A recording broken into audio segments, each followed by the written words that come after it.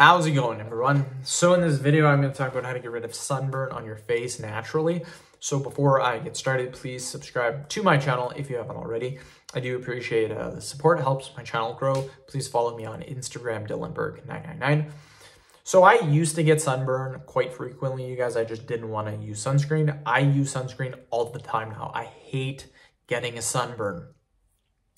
When I used to get them, there is one thing that I only recommend, literally one thing, and that's aloe vera gel. The reason being is number one, it moisturizes the skin. It helps the skin to recover, to heal itself. But the second reason why is you get a nice cooling sensation when you put it on. It is amazing. So anytime I had any type of sunburn, aloe vera gel, literally that's it.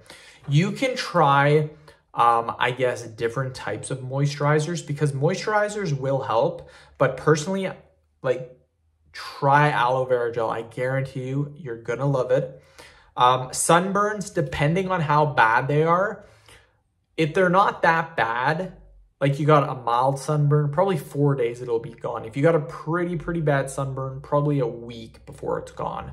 Um, other than that, all I can say is always wear sunscreen if you can, even if the sun isn't out. I've gotten sunburn before when it was cloudy out. So you couldn't actually see the sun. It was cloudy, but I still got a sunburn. So biggest thing is when you are when you are going to be outside for a long period of time, say two, so I would even say an hour plus or even 30 minutes plus, wear some sunscreen. If I'm only going to be outside for 20, 25 minutes, I probably won't wear sunscreen. But if I'm gonna be outside for 30 minutes or longer, always put sunscreen on, you guys. Protecting your skin is super important.